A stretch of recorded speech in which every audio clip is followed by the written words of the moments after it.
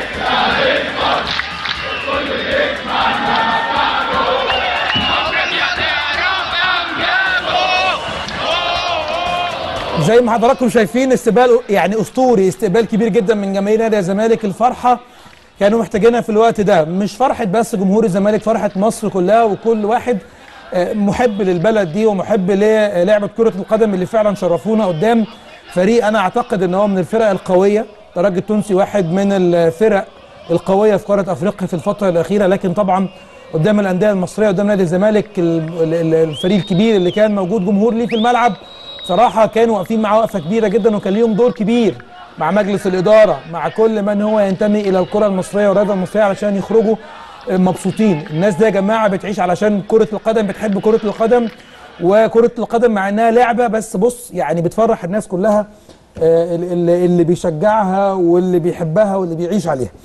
لسه مكملين مع كابتن محمد عمارة لكن زي ما قلت لحضراتكم إحنا بنتكلم في أحداث رياضية كتيرة جدا مش بس